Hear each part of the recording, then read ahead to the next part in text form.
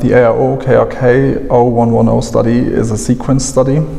It was conducted in Germany um, in more than 80 centers, um, and the question of the study was a de-escalation question. So the standard treatment was fluoropyrimidine plus irinotecan and BEV, so Cap-Iri or FOLFIRI-BEV. Um, most of it was Cap-Iri, in fact.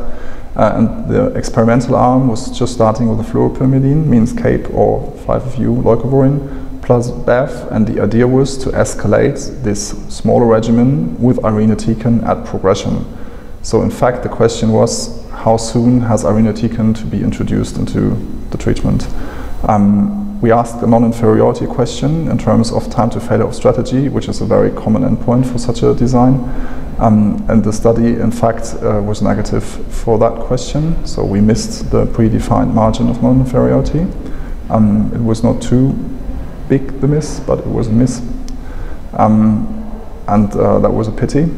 Um, but I mean, in this setting that we investigated, there was really good subgroup findings. Um, we had an elderly population, which is important uh, to know. It's a, or let's say, a realistic population, but given all the other trials, it's elderly.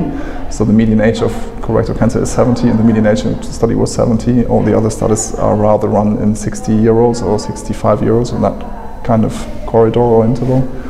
Um, we found that patients with RAS wild-type tumors benefited massively from the intensive upfront treatment, and it was not the case in patients with RAS mutant tumors. And given that this is an information that most of the colleagues have available at start of treatment, um, that gives you a good insight of what happened in, in the study.